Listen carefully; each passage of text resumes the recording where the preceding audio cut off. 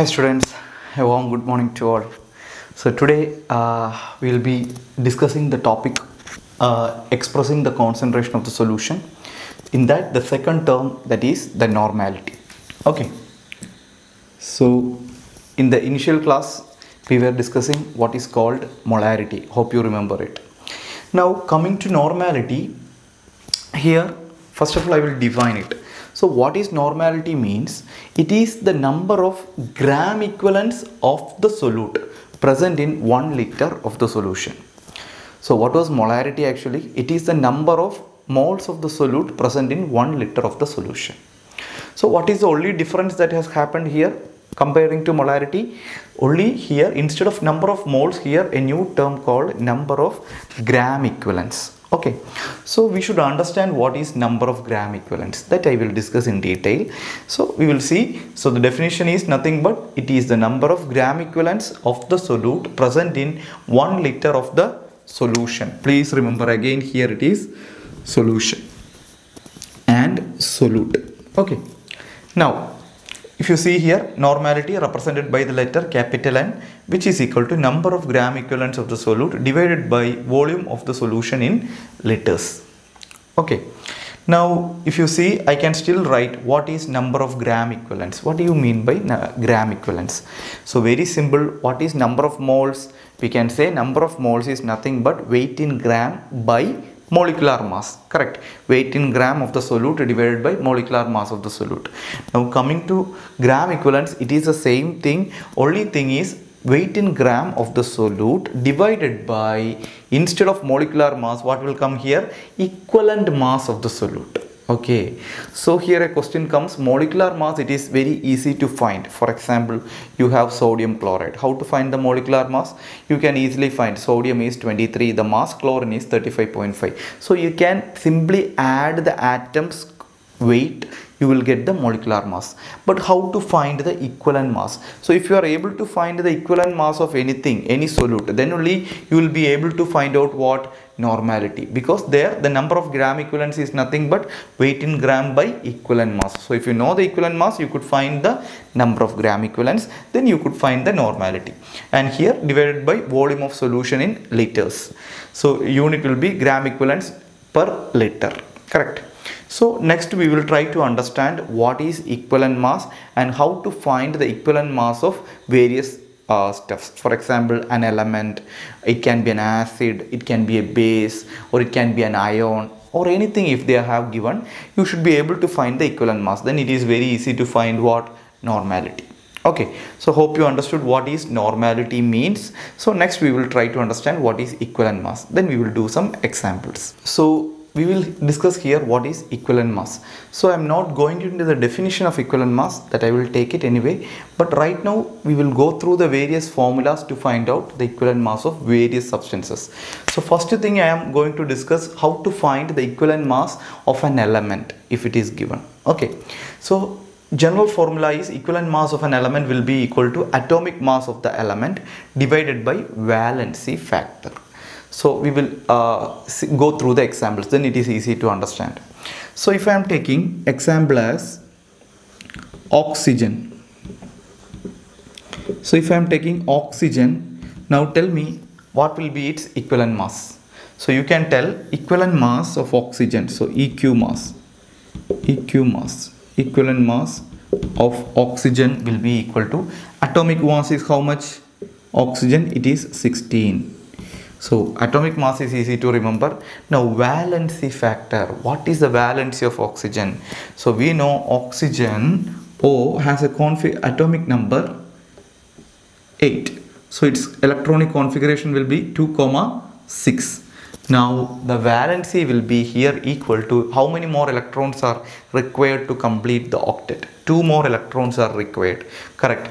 So we can say the valency is valency is equal to 2 understood. So we can take that 2 and substitute over here as the valency factor. So you will get the equivalent mass of oxygen is equal to how much? 8 hope you understood. Now we will take another example so that it will become clear for you more. Okay. So i will take equivalent mass of chlorine. Equivalent mass of chlorine if I want to find out. Okay so here I am rubbing this. Again I am taking here chlorine. Now for chlorine what is the atomic mass? For chlorine the atomic mass is 35.5 okay? So I can substitute that 35.5 now next thing to substitute is my valency factor. So valency factor how I can find out? Chlorine the atomic number is 17 I know. So its electronic configuration will be 2 comma 8 comma 7 now tell me how much more electrons are required to complete the octet? One more electron is required. Hope you know. So I can say its valency factor its valency valency is equal to 1 so I can put that 1 over here. So my equivalent mass will become 35.5 or we can say for chlorine the atomic mass as well as the equivalent mass are same. Okay. Now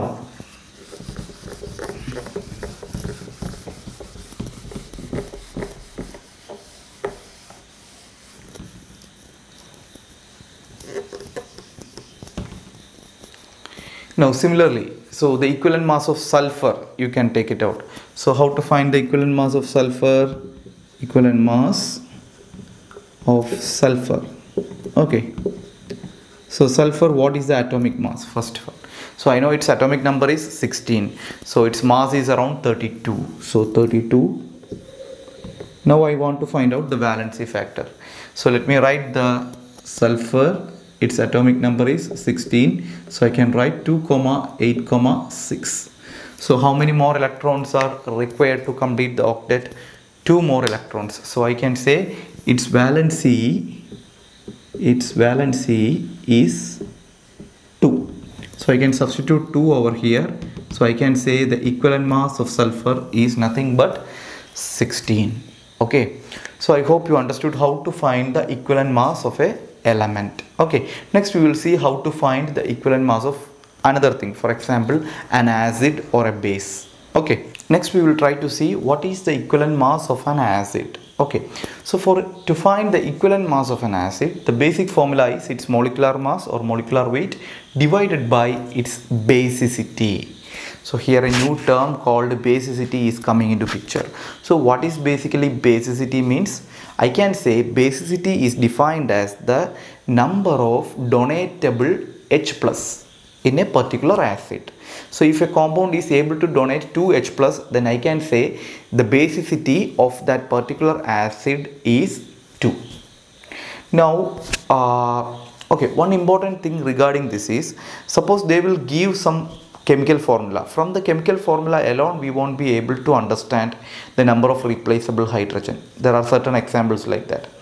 So you need to understand the structure and from that only you should be able to understand okay these are the two replaceable hydrogens or one replaceable hydrogen. Then only you will be, you will be able to understand exactly how many H plus the particular acid can donate. So we know acid is somebody who is capable of donating H plus ion. Okay. So we will go through the examples then you will understand it more clearly. Okay. So example 1 we can say equivalent mass of equivalent mass of sulfuric acid. Okay H2SO4 okay so sulfuric acid what is the molecular weight of sulfuric acid? Sulfur the mass is 32 16 into 4 oxygen 16 16 into 4 64 64 plus 32 96 plus 2 98 so I can say the molecular weight is 98. Now the next question is basicity. So how many H plus H2SO4 can donate? We know one H plus and another H plus. So after giving one H plus it becomes HSO4 minus. Again it can donate one more then it becomes SO4 2 minus sulfate ion. Correct. So it can donate 2 H plus. So the basicity is 2. Okay. So what is the equivalent mass of sulfuric acid? It will become 49 okay. So similarly I can take another example something like hydrochloric acid HCl okay. So if I am taking HCl now tell me what is the molecular weight of HCl chlorine 35.5 and hydrogen 1 unit. So you can get 36.5 so you will get 36.5 as the molecular weight divided by number of H plus it can donate. We know H plus and Cl minus. Only one H plus it can donate. So my basicity value is 1. So my equivalent mass as well as the molecular weight of sulfuric acid remains the same. Okay, so I hope you understood what how to find the equivalent mass of an acid. Next we will discuss what is the equivalent mass of a base. Okay, so please understand now the equivalent mass of a base, base this formula is molecular weight divided by acidity. For example, acidity here means for a base, we know what is basically a base? Somebody who is capable of donating the electrons or OH minus. So here acidity means the number of donatable OH minus ion in a particular compound. Okay, now we will try to calculate the equivalent mass of some bases so that you will get a fair idea. Example 1 so if I am taking equivalent mass of sodium hydroxide NaOH okay. So we know what is the molecular weight. Its its molecular weight. How you can find out? We know sodium the mass is 23 plus oxygen the mass is 16 plus 1 correct now what is the acidity number of OH minus it can donate? We know it will dissociate as Na plus and OH minus. So there is only one OH minus it can donate. So my basis so my acidity value is 1. So I can say 23 plus 16 is 33 plus 39 plus 1 40. So 40 is the molecular weight as well as the equivalent weight of or equivalent mass of sodium hydroxide now we will calculate one more thing. We will calculate magnesium hydroxide.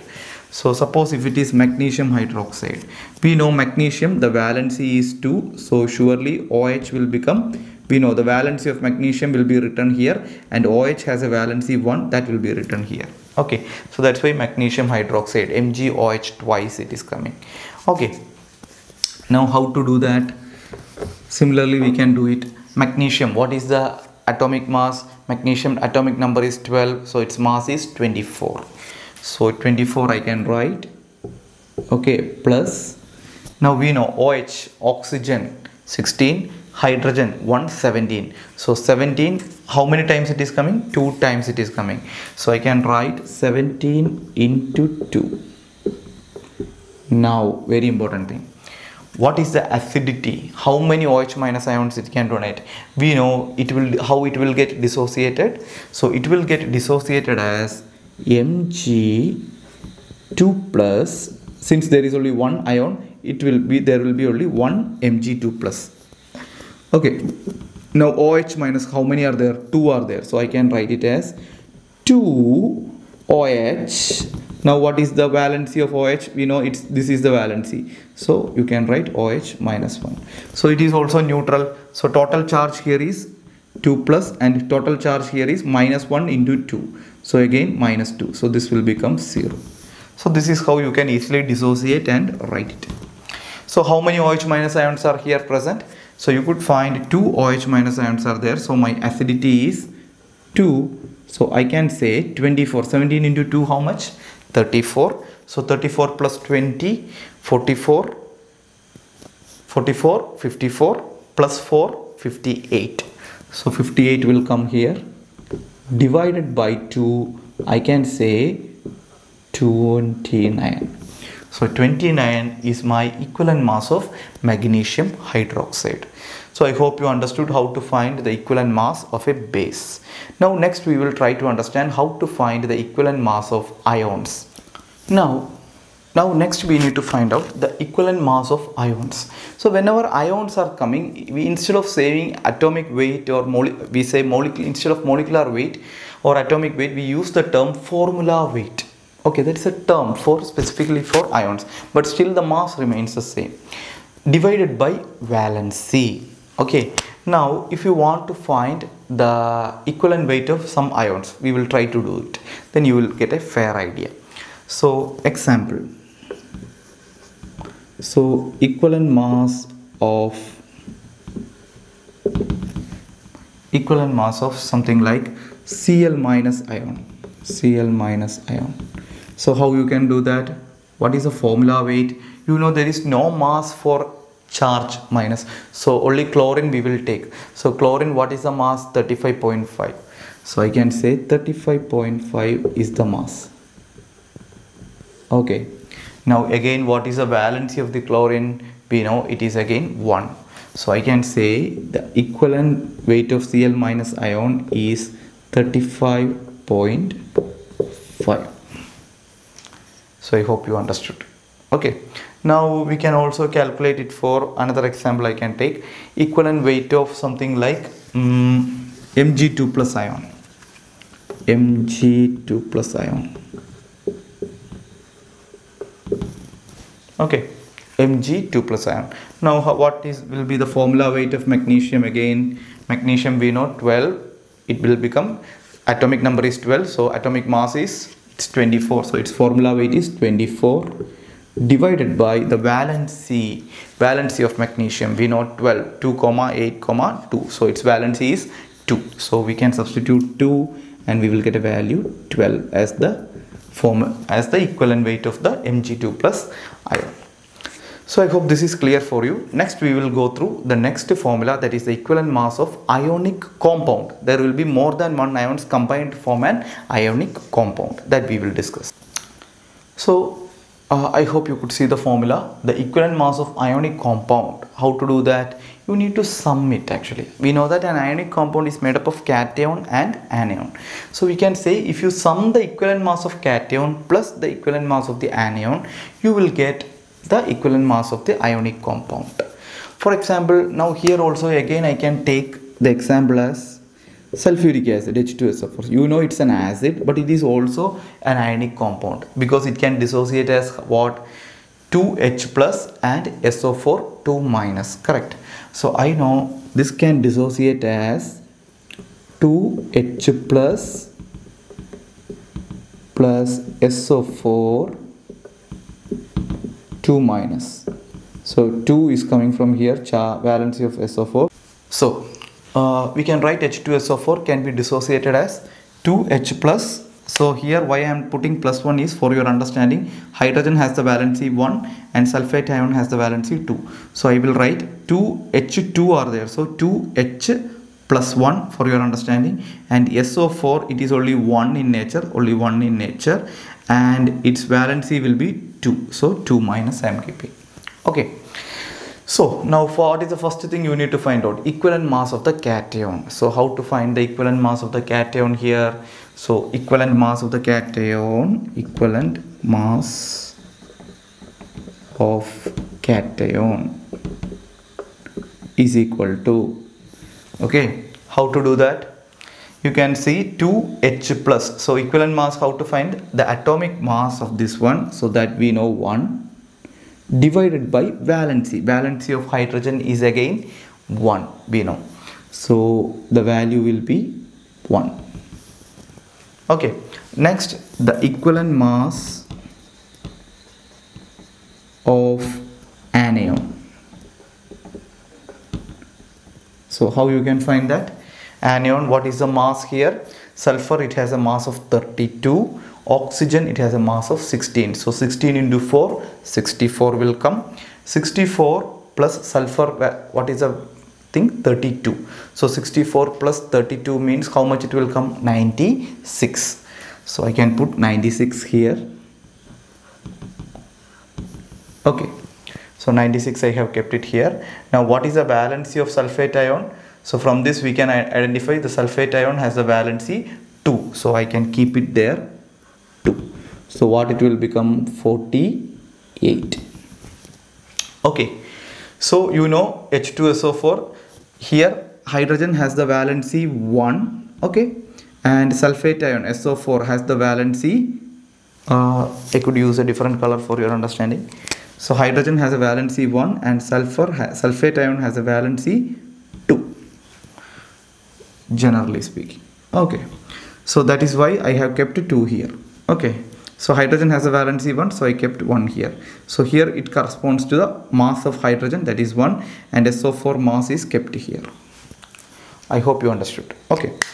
So now what you need to do you got 1948 so you can put it here if you are adding both 1 plus 48 you are getting 49 so i hope you remember. H2so4 we also calculated by other method. That is equivalent mass is equal to molecular weight of h2so4 that is 98 divided by basicity how many donatable h plus? 2 h plus. So 98 by 2 49 or you can use this method to find out as 49 so any method can be used. Okay. So next we will see the equivalent mass of other stuffs. Okay so next we are going to learn the equivalent mass of a salt. Okay you know how salt is formed? Basically acid plus base reaction will result in a salt. So if you have a salt how to find the equivalent mass? So how to do that? Again the molecular weight divided by total charge on the cation or anion. You can take either of them. It's easy. So either you take total charge total charge that is very important. Total charge on the cation or total charge on the anion. So we will understand this with an example. Then it becomes very easy. Okay. So here we could take the example of Na2SO4 okay. So you have Na2SO4 is there. Now you know Na2SO4 is there. How it can split or dissociate? We can say 2Na plus 2 because 2 Na are there. So 2 Na valency of this one you should take it. So plus charge will valency of uh, or number of SO4 will come here as charge. You can write plus 1 then. Now SO4 how many SO4 units are there? Only one. So I can write SO4 and its valency is here 2 so I can write SO4 2 minus. Okay. Now you should understand what is the molecular weight of Na2SO4 how you can calculate that? So molecular weight of Na2SO4 is 2 into 23 plus what I can write sulfur? 32 plus 16 into 4 64 this is my molecular weight. Okay. Now this should can be this can now you can find it in two methods. Either I could take the total charge on the cation. So if I take total charge on the cation how much it will come?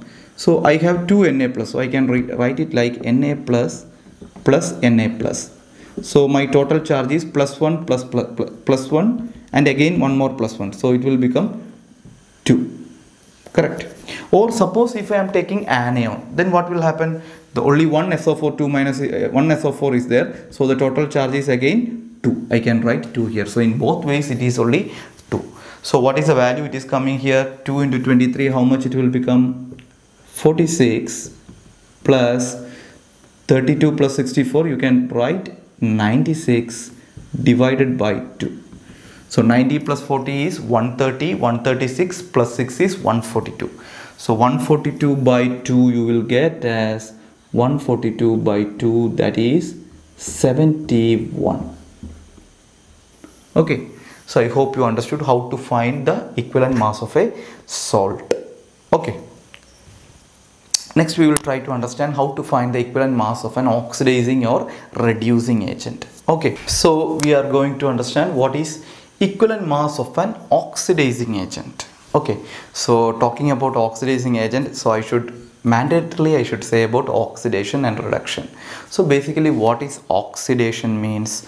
Oxidation is a phenomenon whereby you are oxidizing, introduce oxygen to a compound that is one definition. There are many definitions are there. Or with respect to uh, oxidation state i can say during an oxidation what will happen during an oxidation? Electron will be lost. Okay? So please understand. Oxidation is a phenomenon whereby electrons will be lost. So here we will first understand what is oxidation. Then only you will get an idea of oxidizing agent. Okay. So I can say an oxidation oxidation is a phenomenon whereby you will introduce oxygen to a compound. Okay. And reduction is a phenomenon thereby you will remove oxygen from a compound. So then we will understand what is oxidation state. So during oxidation, for example, Na is getting converted to Na plus. Okay. So here what has happened? Electron is removed from sodium and it is becoming Na plus. So I can say sodium underwent oxidation. So what happened to oxidation number? Oxidation number it has changed from 0 to 1 for any element its oxidation number is 0 and you could see it is changed to plus 1 so charge is plus 1 so oxidation number increases during an oxidation process. Okay. And what happens to electron? Electrons electron got lost. Okay. So this is during oxidation process. And who performs an oxidation? That guy is called oxidizing agent. Okay